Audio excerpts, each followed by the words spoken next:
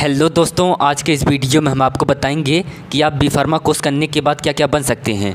आप किस किस फ़ील्ड में काम कर सकते हैं और जिस फ़ील्ड में आप काम करेंगे, उस फ़ील्ड की सैलरी कितनी होगी। तो इन्हीं सब बातों के बारे में आज के इस वीडियो में हम आपको बताएँगे। तो हो सकता है कि आप लोगों में से कई लोगों ने अभी बी फार्मा कोर्स में एडमिशन लिया हुआ होगा।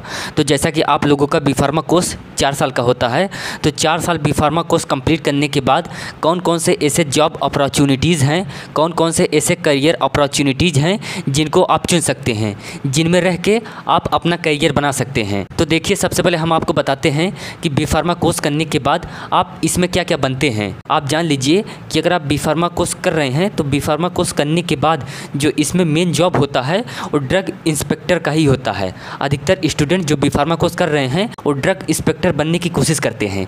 तो अगर आप भी बी फार्मा कोर्स कर रहे हैं तो बी फार्मा कोर्स करने के बाद आप चाहें तो ड्रग इंस्पेक्टर बन सकते हैं।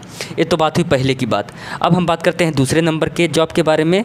तो दूसरे नंबर पे आप जॉब्स इन गवर्नमेंट हॉस्पिटल मतलब गवर्नमेंट हॉस्पिटल में आप जॉब कर सकते हैं। अगर आपने बी फार्मा कोर्स अच्छे से किया हुआ है तो आप गवर्नमेंट हॉस्पिटल में जॉब कर सकते हैं। नंबर तीन, जॉब्स इन प्राइवेट हॉस्पिटल। अगर आपको गवर्नमेंट हॉस्पिटल में जॉब नहीं लगती है, या फिर अगर आप गवर्नमेंट हॉस्पिटल में जॉब नहीं करना चाहते हैं तो आप चाहें तो प्राइवेट हॉस्पिटल में भी जॉब कर सकते हैं।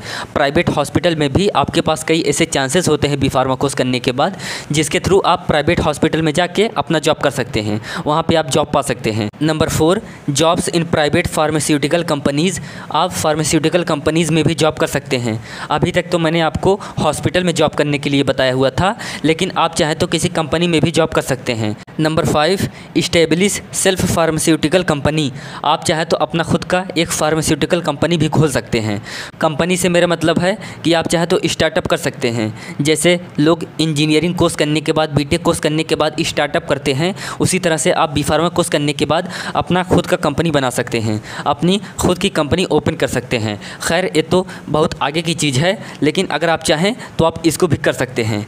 Number six eligible for licence for medical store B pharma course करने के बाद आपको एक लाइसेंस मिल जाता है, जिसके थ्रू आप चाहे तो मेडिकल स्टोर ओपन कर सकते हैं। मेडिकल स्टोर ओपन करने के बाद वहाँ पर आप दवाएँ बेच सकते हैं। तो ये सभी चीज़ें आप बी फार्मा कोर्स करने के बाद कर सकते हैं।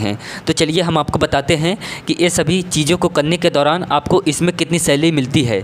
मतलब जिस जॉब में आप जाएँगे, चाहे आप हॉस्पिटल में जॉब करने जाएँ, चाहे आप कंपनी में जॉब करने जाएँ, या फिर आप ड्रग इंस्पेक्टर बन जाएँ तो इन सभी चीज़ों में आपको कितने रुपए की सैलरी लगती है। तो सबसे पहले हम बात करते हैं ड्रग इंस्पेक्टर के बारे में। अगर आप ड्रग इंस्पेक्टर बन जाते हैं तो इसका जो स्टार्टिंग सैलरी होता है, वो पचास हज़ार पर मंथ से स्टार्ट होता है। वहीं पर अगर आप किसी गवर्नमेंट हॉस्पिटल में जॉब करते हैं तो इसमें जो आपकी सैलरी होगी, वो बीस हज़ार रुपये से लेके पचास हज़ार रुपये पर मंथ की हो सकती है। वहीं पर अगर आप किसी प्राइवेट हॉस्पिटल में जॉब करते हैं तो इसकी जो सैलरी होगी, वो पंद्रह हज़ार रुपये से लेके बीस हज़ार रुपये पर मंथ की हो सकती है, शुरुआती में। जैसे जैसे इसमें भी आप एक्सपीरियंस लेते रहेंगे, इसमें आप पुराने होते जाएँगे, इसमें आपको नॉलेज मिलता जाएगा, उसी हिसाब से इसमें भी आपकी सैलरी बढ़ती जाएगी। तो इस हिसाब से आप अलग अलग कंपनी में या फिर अलग अलग हॉस्पिटल में जॉब कर सकते हैं, और उसमें आपके इसी हिसाब से सैलरी हो सकती है। उसमें आपको इतने रुपए की जॉब लग सकती है। अब हम आपको बताते हैं कि बी फार्मा कोर्स करने के बाद आप कौन कौन से पीजी कोर्स कर सकते हैं। तो बी फार्मा कोर्स करने के बाद आप चाहे तो एम फार्मा कोर्स कर सकते हैं, जिसका फुल फॉर्म होता है मास्टर ऑफ़ फार्मेसी इसको करने के बाद आप किसी यूनिवर्सिटी में या फिर किसी कॉलेज में पढ़ा सकते हैं प्रोफेसर बन सकते हैं, या तो फिर आप चाहें तो एम एस फार्मा कर सकते हैं, या फिर आप चाहें तो एम बी ए कर सकते हैं। M B in pharmacy pharmacy के थ्रू आप एम बी ए कर सकते हैं, या फिर आप चाहें तो बी फार्मा कोर्स करने के बाद जी पी ई टी का एग्ज़ाम दे सकते हैं। तो यही कुछ ऐसे करियर अपॉर्चुनिटीज़ हैं जिनमें आप जा सकते हैं बी फार्मा कोर्स करने के बाद।